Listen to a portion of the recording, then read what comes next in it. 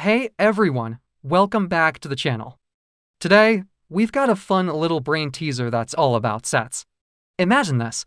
A survey was conducted in a class of 100 children, and it was found out that 45 of them like mathematics, whereas only 35 like science, and 10 students like both subjects.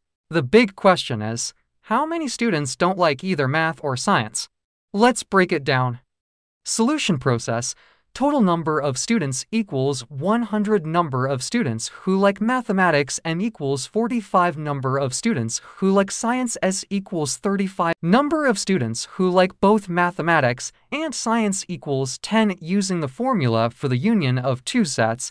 Number of students who like mathematics or science equals 45 plus 35 minus 10 equals 70 number of students who like neither subject equals total students number who like mathematics or science equals 170 equals 30, and there's our answer 30 students like neither mathematics nor science.